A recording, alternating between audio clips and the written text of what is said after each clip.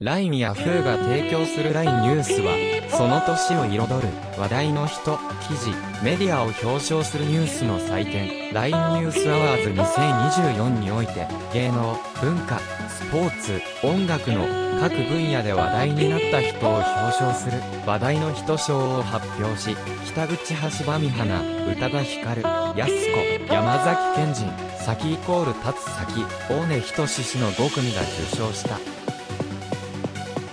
LINE ニュースにおける記事掲出数、前年との注目度の変化、記事閲覧数などをもとに、LINE ニュースが独自に選出した6部門の受賞者と、一部、受賞者からのコメントが特設ページにて公開されている。